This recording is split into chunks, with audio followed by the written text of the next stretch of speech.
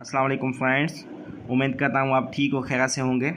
दोस्तों, आज मैं सोचा कि आपके साथ कुछ ऐसी चीज़ शेयर की जाए जो आपको कमिंग कैंडिडेट्स को पता है। तो मैं सोचा कि आज आपको जामेट्री जो मैथमेटिक्स का पोर्शन है जामेट्री मोस्ट इंपॉर्टेंट होता है, हर एग्ज़ाम में आता है। तो उसके हवाले से मैं आपको बेसिक इन्फॉर्मेशन दे दूँ। तो ये सर्कल के हवाले से इन्फॉर्मेशन है। सर्कल जो मुकम्मल गोल होता है, ठीक है, दायरा होता है, उसको हम सर्कल कहते हैं।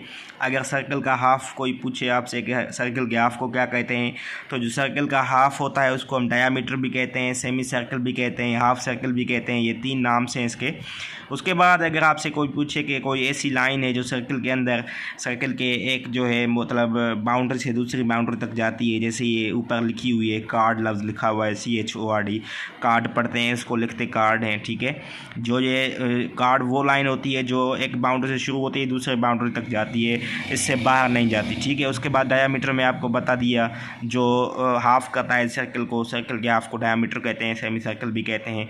उसके अलावा अगर ऐसी लाइन जो सर्कल के बाउंड्री से बाहर जाए, जैसे ये लिखा हुआ है secant word S E C A N T तो ऐसी लाइन जो सर्कल के बाउंड्री से बाहर से आए और सर्कल के बाउंड्री से बाहर निकले, अंदर तक कंप्लीट ना हो, ठीक है? बाहर निकले तो उसको सीकंट कहेंगे।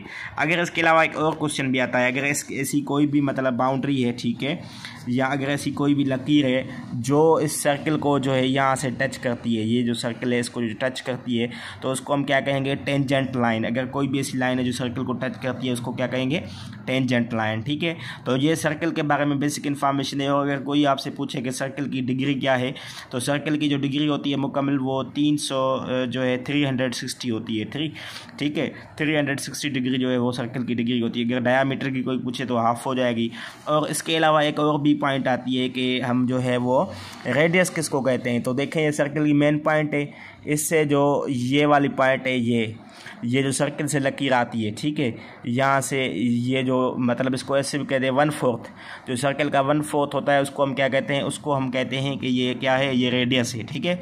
वन फोर्थ हाफ़ सर्कल या जो चौथा होता है सर्कल का, उसको क्या कहते हैं रेडियस कहते हैं। तो दोस्तों, ये जो है आपके सर्कल के हवाले से बेसिक इन्फॉर्मेशन है। उम्मीद करता हूँ कि ये वीडियो आपको पसंद आया होगा। अगर पसंद आया तो काइंडली मेरे चैनल को सब्सक्राइब लाइक कर दें और दोस्तों के साथ भी शेयर कर दें। ये मोस्ट इंपॉर्टेंट और बेसिक इन्फॉर्मेशन है। थैंक यू अल्लाह हाफिज़